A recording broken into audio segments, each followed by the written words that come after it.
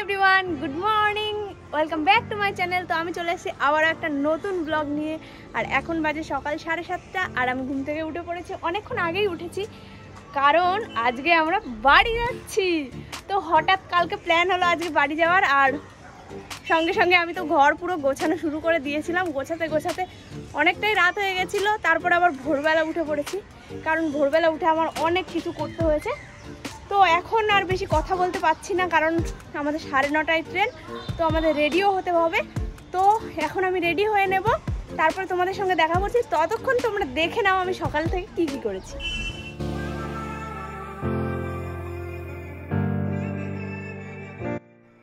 আজকে আমি ভোর সাড়ে চারটের সময় উঠে পড়েছি, কারণ কালকে রাতে আমার সব কিছু গোছানো কমপ্লিট হয়নি, তো ঘরটাকে তো এভাবে রেখে যেতে পারি না, তো তার জন্য আমি সকালে উঠে পড়েছি।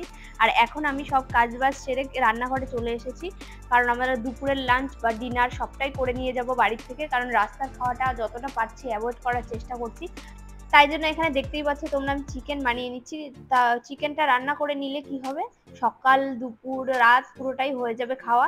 তো চিকেনের সাথে আমি রাতের জন্য বানিয়ে নেব রুটি আর দুপুরের জন্য ভাত রান্না করব আর কিছুটা ভাত এক্সট্রাও রান্না করব যাতে আমাদের সকালের খাওয়াটাও হয়ে যায়। তো এখানে দেখো আমি রুটি বানিয়ে নিচ্ছি মানে ছটা মতো বানিয়েছি রুটি তাড়াহুড়ো করে। আর খুবই মানে অল্প সময় ছিল হাতে, তো তাই জন্য আর কি বেশি ভালো হয়নি। তো যতটা পেরেছি করার চেষ্টা করেছি।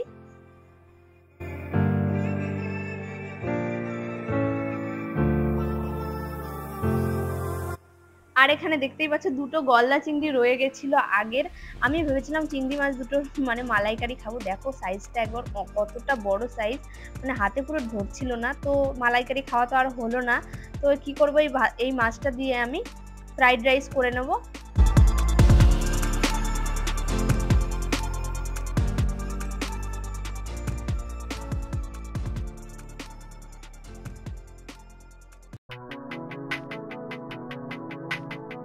আজকে রান্নার মধ্যে সবকিছু রান্না করা হয়ে গেছে, এখন শুধু ফ্রাইড রাইসটা রান্না করলেই হয়ে যাবে। তো আমি এটাকে তাড়াতাড়ি করে করে নেব, তারপরে এখনও আমার অনেক কাজ আছে কিচেনটাকে পুরো গোছাতে হবে।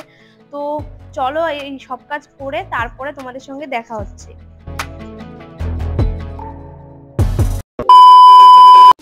তো আমরা ট্রেনে উঠে পড়েছি, আর দেখতেই পাচ্ছি ট্রেনটা ছেড়ে দিয়েছে। তো বাইরের ওয়েদারটাও বৃষ্টি বৃষ্টি ওয়েদার তো বাড়ি থেকে আসার কথা বলতে পারিনি। কারণ প্রচণ্ড লেট হয়ে গেছিল আমাদের, কোনো মতো জামাটা পরে জাস্ট চলে এসেছি। তো কেবলই ট্রেনে উঠলাম আর ট্রেনটা ছাড়লো, এবার আস্তে আস্তে যাই বাড়ির দিকে। চলো পরে আবার দেখা হচ্ছে আমাদের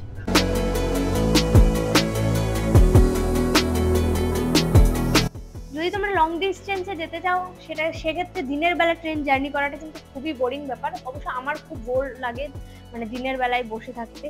বাট এই যে যে ভিউটা আমরা দেখতে পাচ্ছি, এটা কিন্তু রাতের বেলায় দেখাটা একদমই সম্ভব নয়। এতটা সুন্দর ভিউ মানে জাস্ট বলে বোঝানো যাবে না, শুধু চোখ দিয়েই সেটাকে ফিল করা যাবে। আর এখন আমরা আছি ওড়িশাতে, আর আমার সামনেই দেখতে পাচ্ছ এই যে লেকটা, এটা হলো চিল্কা লেক। এটাই কিন্তু ভারতের সর্ববৃহত্তম লেক।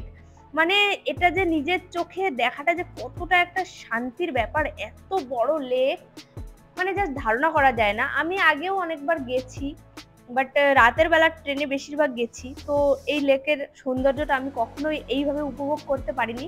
আর দিনের বেলায় গেলেও হয়তো আমি ঘুমিয়েছিলাম বা বা আমি খেয়াল করিনি। বাট এইবার আমি তো আগের থেকেই ভেবে এসেছিলাম, এইবার আমি চিল্কা লেক দেখবই দেখব।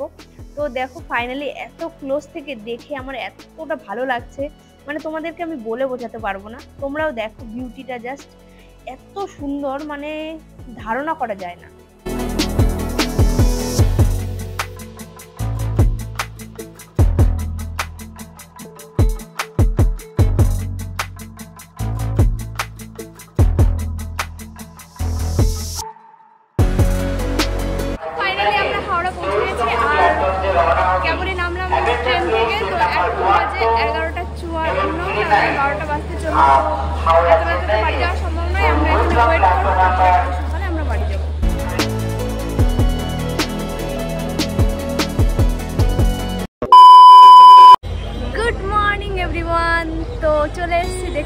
কলকাতায়। আর এখন সকালবেলা, রাতটা কোনো মতো এখানেই কাটালাম, আর এই যে আমাদের গাড়ি চলে এসছে, এবার বাড়ি যাওয়ার পালা। তো আমি তো খুবই এক্সাইটেড চলো, যেতে যেতে কথা হচ্ছে।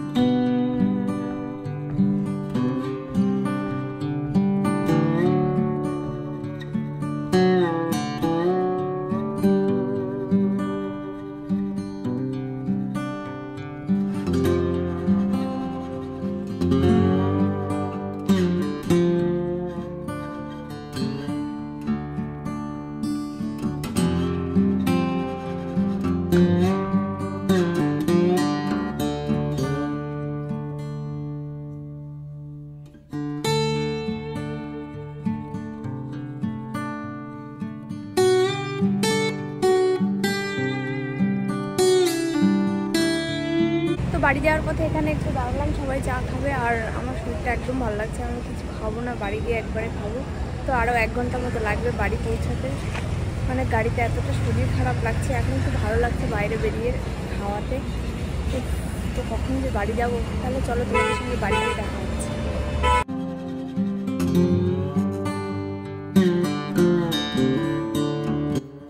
দেখতেই পেলে সকালে বাড়ি চলে এসেছি, আর এসে নিয়ে এতটা টায়ার্ড লাগছিল তো খাওয়া দাওয়া করে একটা ঘুম দিলাম, আর কেবলই উঠলাম। এখন এই যে মা আর আমি গল্প করছি।